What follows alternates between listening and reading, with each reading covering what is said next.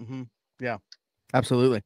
Uh, let, us start with Davante Adams. Uh, I was actually the one that put out there about the Raiders reaching out to the Steelers, uh, oh. not vice versa. So this past summer, as we know, the Steelers were kind of turning over a bunch of stones on the receiver market.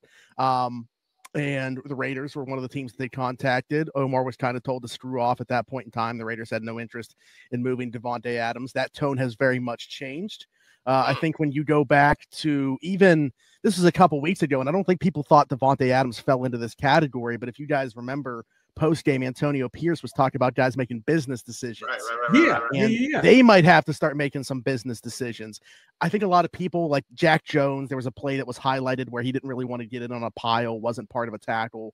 Uh, you could see that. Those were the players I think people thought were being kind of categorized there by Antonio Pierce. Then you see Antonio Pierce liking an Instagram post about Davante Adams potentially getting traded. You see Davante Adams held out this week with a hamstring injury, yet he's still doing, you know, appearances on podcasts and doing some right, media right. availability and stuff like that. And you start to get your mind going. So he was on Up and Adams with Kay Adams today talking about the situation and said he hadn't heard anything. It's been radio silence from Antonio Pierce. He has no clue why he liked that post.